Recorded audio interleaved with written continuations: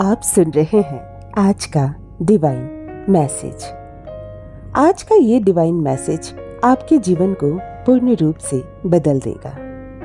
Divine अपने इस संदेश के माध्यम से आपको ये बताना चाहते हैं। मुश्किलों से भरे मार्ग पर चलते चलते एक समय ऐसा आया था तुम्हारे जीवन में, मेरे प्रिय जब तुम थक गए थे।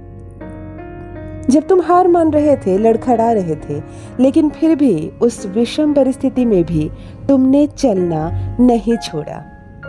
और यही कारण है कि तुम्हारे साहस के बल पर आज तुम वो सारी खुशियाँ हासिल कर पा रहे हो, जो शायद तुम परिश्रम ना करते तो तुम्हें नहीं मिलता। इस भौतिक जगत में सुख को प्राप्त करना बहुत सरल नहीं है।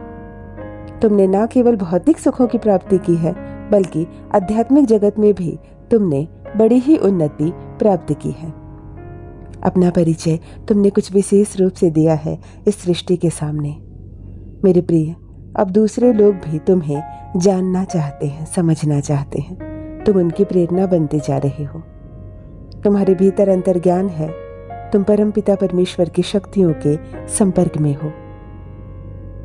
तुम जब भी कोई चीज़ की बलिदान देते हो, अपनी खुशियों का त्याग करते हो, जब भी परीक्षाएँ देते हो, थोड़ा और विशेष हो जाते हो।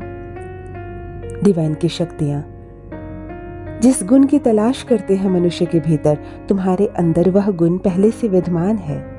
इसीलिए तुम बढ़ रहे हो अपनी मंजिल की ओर। नए नए अध्याय, सफलताओं के प्रारंभ हो रहे हैं तुम्हारे जीवन में। किसी बात की चिंता मत करना मेरे प्रिय।